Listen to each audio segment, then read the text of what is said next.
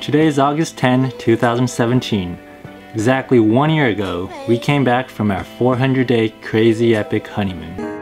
I see now so clearly. And this year, well, this year has been pretty crazy too.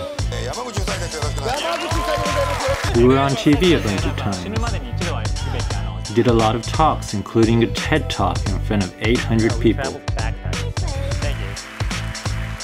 We also published a book, and I went filming to Antarctica with probably the most famous anime character here in Japan.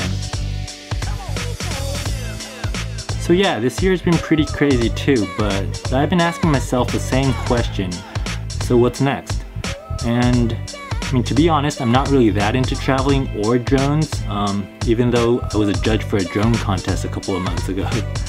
Don't get me wrong, I do love traveling and I do love new gadgets, but, but those are just tools to share a story and it's not something to be pursued by itself. At least that's what I think. Of course, that's just my opinion. I could be wrong. But what I still do enjoy is making videos and sharing a story. So what I decided was that I'll be making videos about my life, about our life. You might call those vlogs. Um, and I'll also be making videos about topics that I'm interested in. And that will be like a visual essay. Definitely won't be daily, probably not even be weekly. Um, I'll just uh, make videos when I feel like it. And I'll stop when I get bored. So yeah, this was my short announcement, my first vlog entry, and I'll see you in the next episode.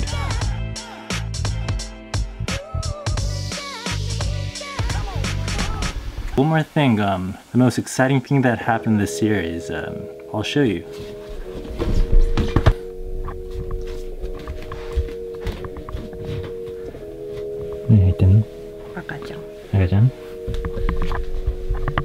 So yeah, um, we're having a baby.